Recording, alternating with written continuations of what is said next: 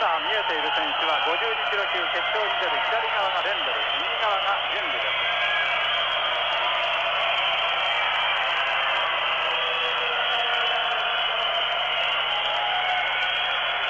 決定戦の第2試合。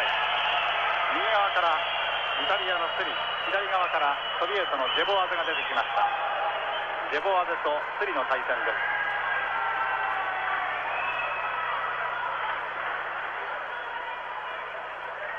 これも力強い試合が予想されますね斉藤さん。そうですね。あのソ連の選手は今日は調子良かったんですけどもうまく足払いで合わせられまして、はい、あの一歩負けしたんですけども調子はいいですね、えー、有効を取りました。ですね。はい。内股有効を取りました。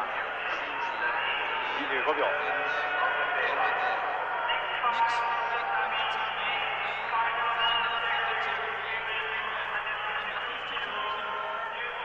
まあ、これは斉藤さん、はい、力から言ったら、やはりジョバーズの方がかなり上なんじゃないかという見方が強いと思うんですがね。そうですね、僕もそう思いますけども。ジェボワーズはまだ20歳です。一方のイタリアのスリの方は27歳です。まあ、とにかく決勝進出をかけた準決勝では、スペインの選手への大声援の中、ジェボワーズが出足払いに1本で敗れました。準決勝で敗れまして決勝進出の涙を飲みました。そしてこちらがイタリアのスリ古賀には前線をいたしましたイタリアのスリです。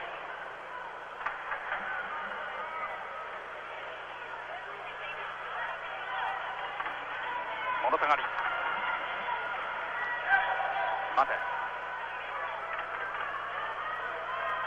このクラスにはソビエトにはテナーゼという選手がおりますが今ソビエトはご承知のように国内の紛争が続いています。テナーゼはグルジア出身の選手でありますのでこの大会に出ることができませんでした、まあ、このほか軽量級でもあの斉藤さんトチカシビリという非常にいい選手がいるんですがトチカシビリも出てきませんでしたね、はい。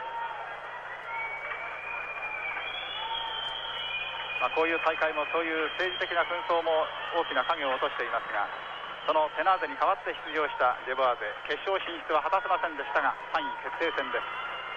現在のところ有効を1つ取りました。内股。しか